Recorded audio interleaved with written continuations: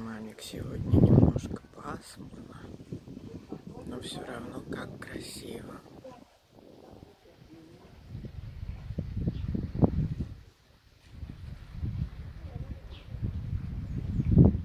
Посмотри, какая красота.